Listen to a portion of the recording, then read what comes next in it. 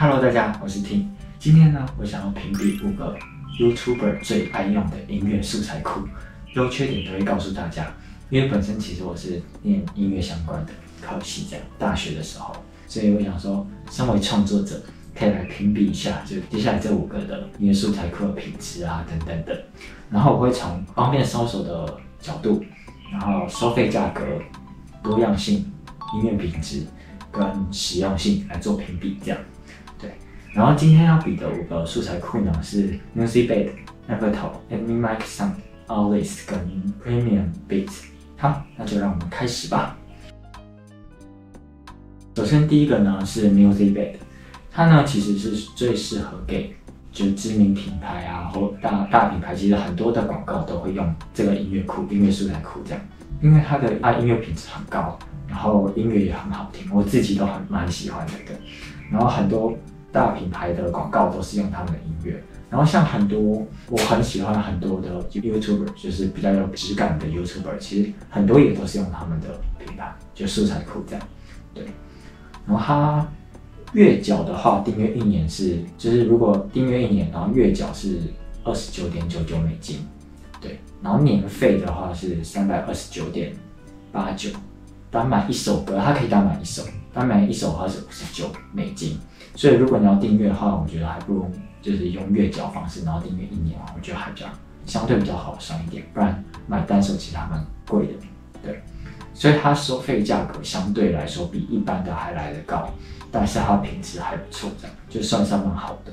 如果以方便搜索来说，它的话五颗星的话，我会给它四颗星，因为它蛮方便，就是它确实有蛮多种筛选机制的，对。然后收费价格的话，因为真的有点贵，所以我给它是两颗星。多样性的话，我会给它四颗星，然后音乐品质的话，我会给它五颗星，然后实用性也是五颗星。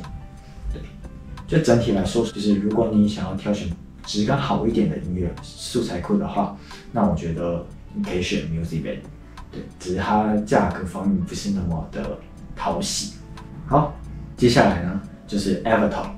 Avatar 呢，其实它最适合就是需要很多素材、很多种类素材的。人，因为还有就是视觉设计类的，或是音效、音乐，甚至字体或是滤镜都有，就很多种你想得到它都有这样。对，所以它多样性很够，但是它也有缺点，就是缺点就是它品质非常的参差不齐。然后还有一个是，就是很多的网络上那种有点像直销广告啊那种，可能大多数都会用它，就他们的素材库这样。所以我自己。越来越少用在 Avatar，对。如果你想要多样性的话，我觉得它是一个很入门的选择。就是你入门的话，我觉得可以用它，没问题。这样，对。但是如果要相对来讲想要这种质感高一点的话，我觉得可能不是那么的推荐。然后月缴的话，它是每个月三十三美金，然后年缴是每个月十六点五美金，所以相对来说其实算是很便宜。这样。对所以以方便搜索来说，我会给它三颗星，然后收收费价格我会给它四颗星，多样性我会给它五颗星，然后音乐品质我会给它两颗星，因为它真的很多样性，但是它真的品质真的是很参差不齐的，对。然后实用性的话，我会给它两颗星。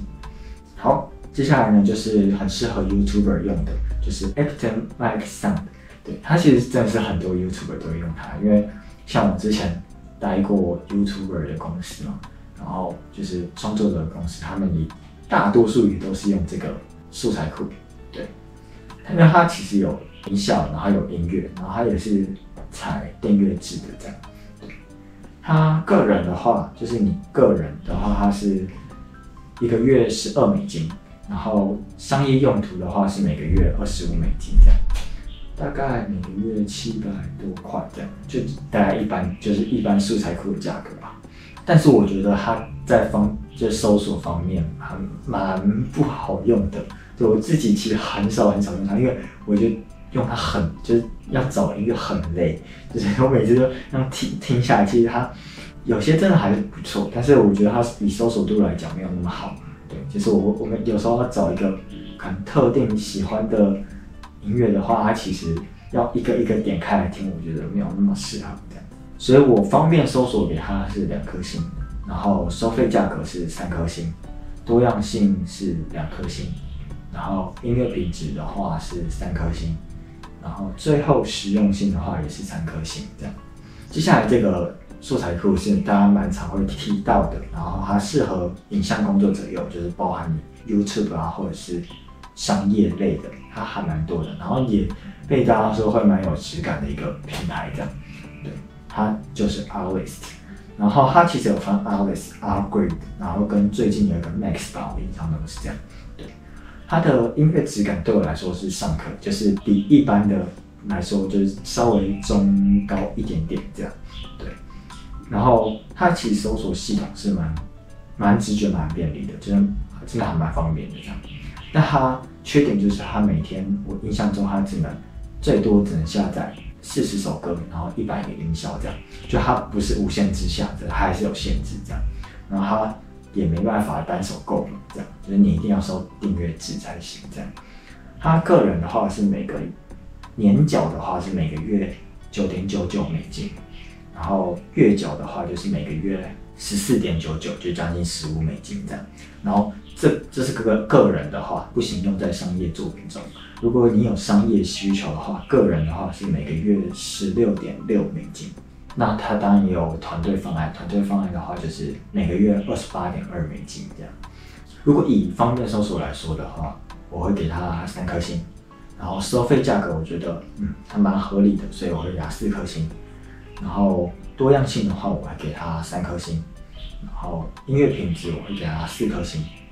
最后实用性的话，我还给它四颗星。